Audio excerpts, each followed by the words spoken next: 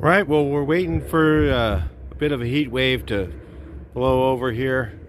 I figure it's time for some oval window action. I can work on some parts in the garage where I don't have to be out in the heat. So let's get started.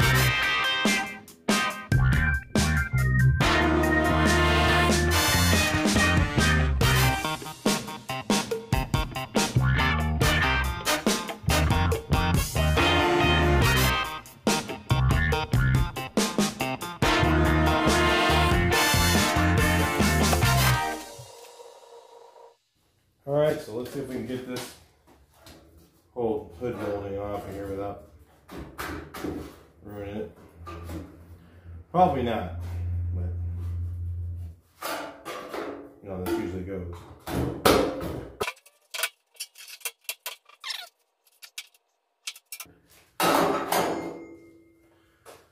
Those are still there. It's crazy. I don't think I've ever seen one that old. It was still there. 55. That's. Let's try this again.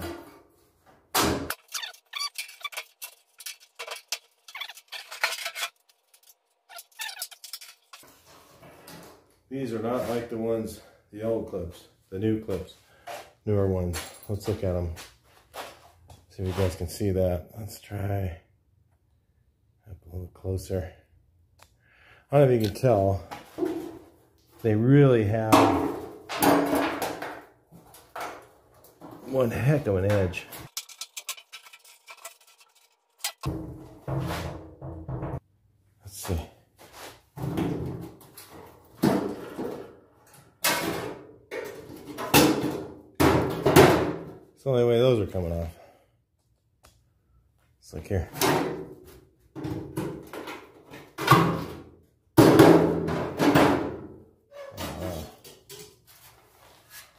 Original. If you look here, you can see, I can get the focus here. You can see there's a real sharp edge on these original clips there. I don't think, I don't know if I'll use them again because I they're pretty rusty. All right.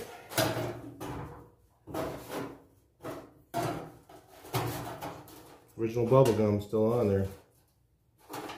And you see these things break. Got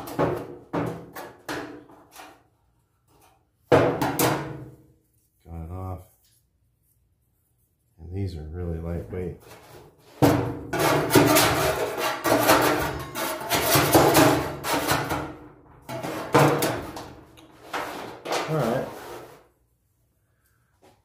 Get off this thing. Get up here. All right. Oh yeah, that came loose. That came loose.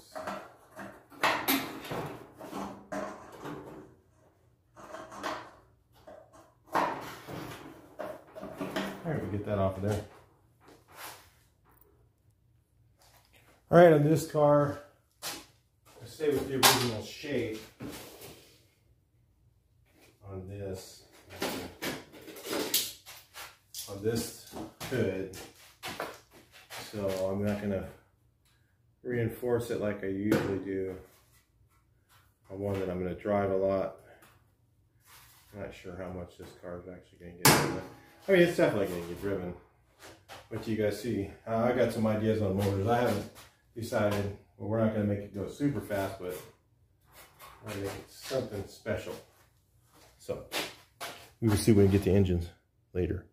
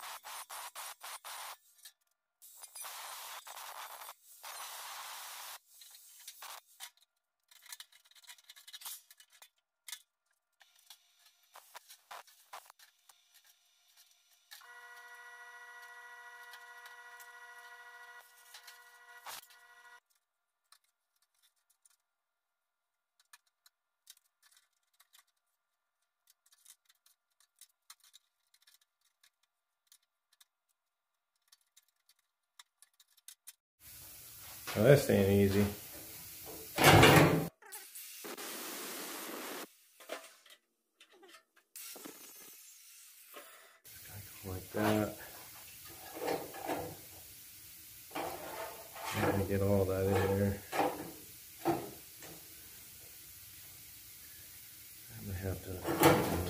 here. So I gotta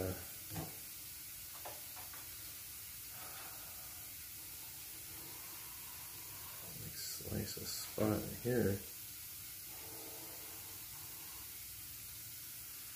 Bend that up.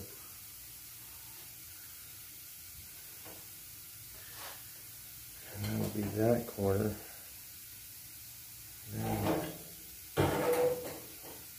Yeah, one piece at a time.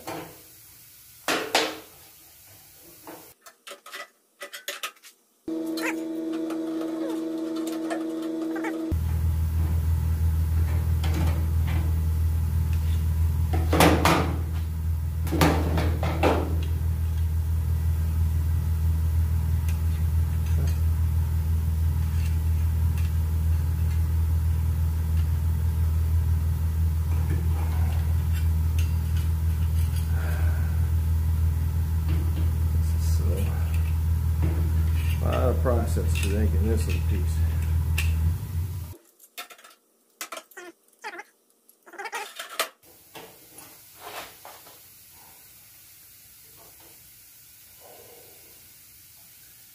And, uh, hmm, kind of does.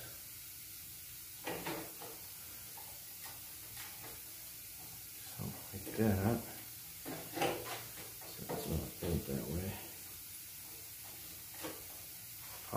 Just weld it in and finish it up. Uh,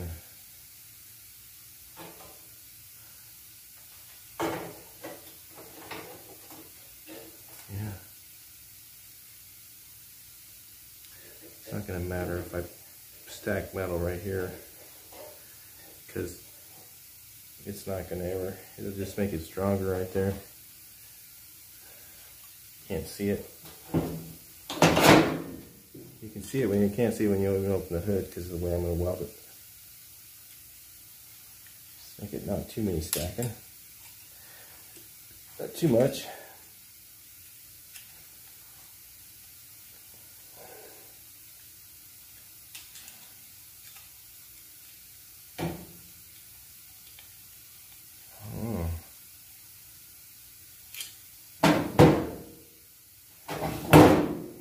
Hardest pieces I made in a while.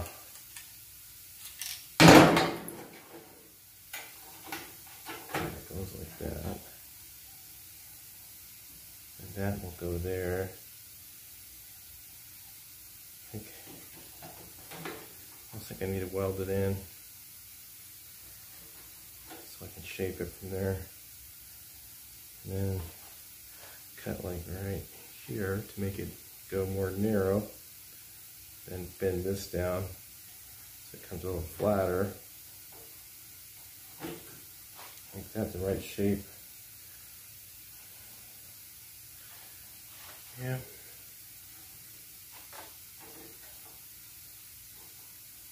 I'll just weld all the way across and then grind it off so you can't see it.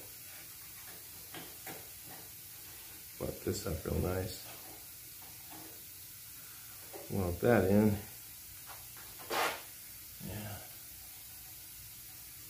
I gotta get that shape right. And this thing's in the right spot. So, guess I better weld it in and then can go from there.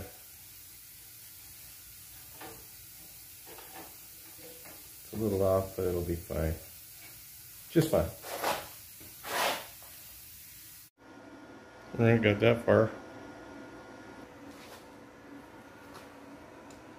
Alright, let's look there. Because you guys are. About right. It was cut right here.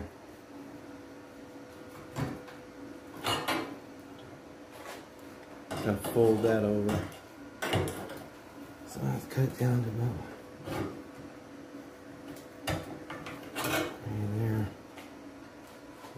think this has got to go a little bit like that.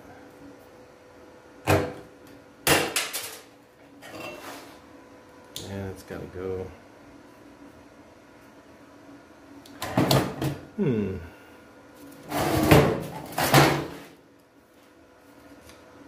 Let's see, this one folds way over.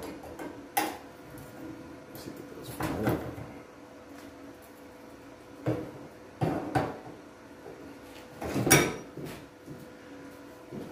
Uh, nope. Cut it some more. It's right there. It's not out far enough. Hmm.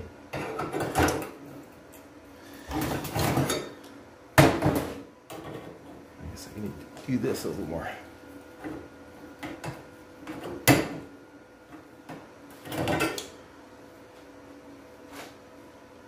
Flatten this out.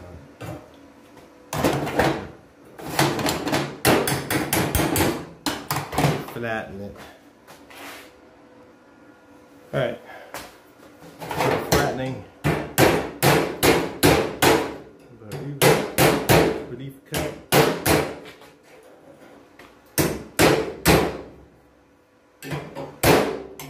Got more right here, don't I?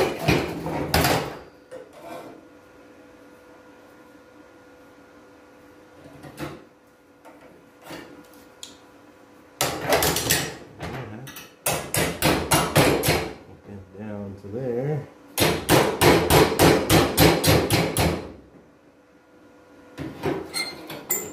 I should grind that one down first.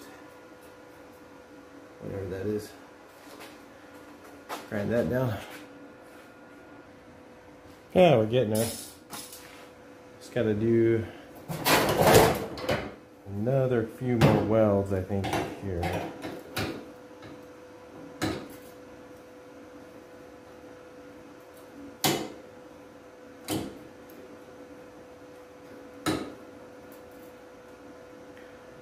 This, the only way to do it. Weld those up. That's just a lap in there, it'll feather in real nice. Alright, we'll watch your ears for a second. Yeah, how I'm doing it. This is not easy. Not hard really, just takes time.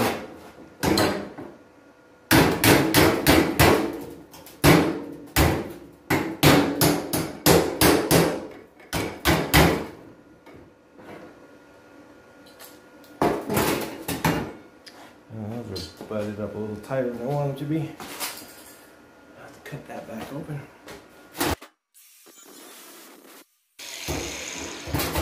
Just stuff like this the whole way.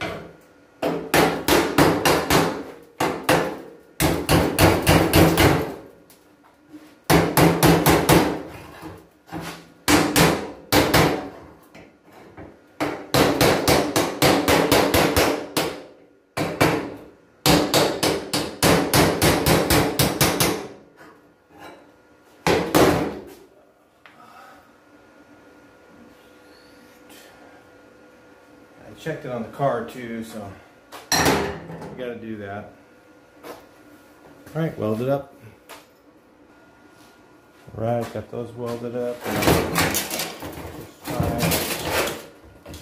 cut this off. So cut this first, and then I'll just grind it the rest of the way.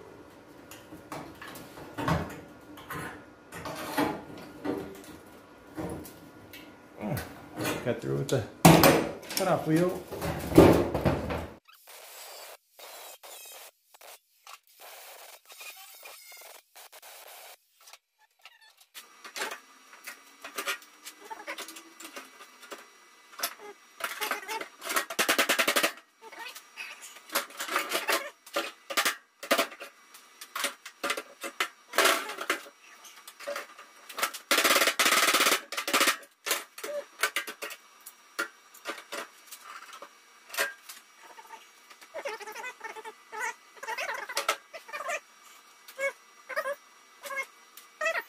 Take a look at it later. think You guys into the task, right? Let's look at that. Looks like right now. And then we're making one that looks like that.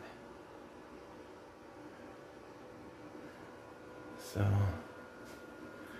just got a small repair to do that one, thank goodness. Okay. Right, so I got this thing, little piece here I got put in, and I bent that part down so that it lines up when it's flat. Okay. I'll weld this in, we'll take a look at it, and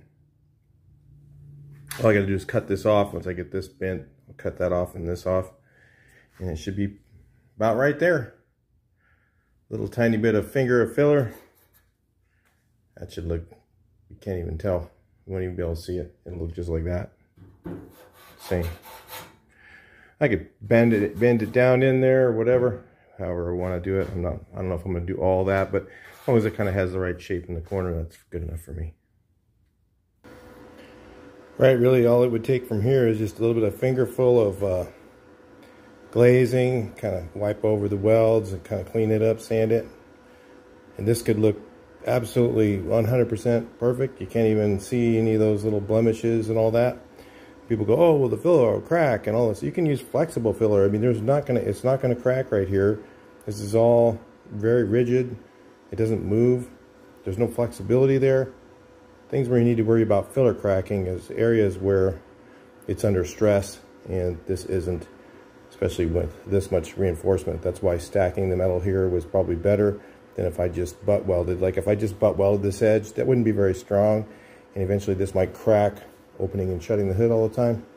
But with it lapped like that and then spot welded along this edge, it's very strong. It's not gonna, it's actually stronger than the original and shouldn't be any issues at all with cracking. So we'll move on to the next piece.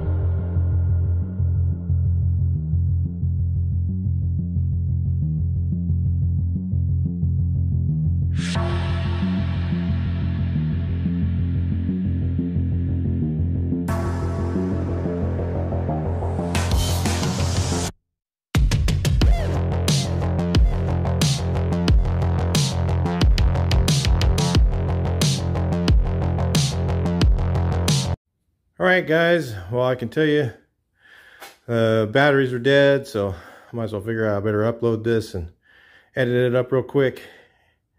And we'll continue on on this. There's a lot here to do just on this hood. I did weld up these things as well. And then I've got that patch, remember, in the middle that I cut out. I still got to make the outer skin. I mean, I have to fit this thing. So it's got to fit really tight. You know, it's got to shut evenly all the way around. It, this car was never hit in the front, so there's no excuse for not having it like fit tight and tight, good. So I've got to try and make that work really nice. And, but this was really bad rust right here. This is like extreme, extremely hard to make this stuff. And especially this part right here. If you didn't notice that. So luckily I don't have to do that much to this side. A little bit, but not, you know, if I got these lines, that's the thing that helps a lot. And then I can just make these little patches in this little top piece. Kind of make them all separate. If anybody watches Fitzy's Metal, he kind of does similar stuff that I do.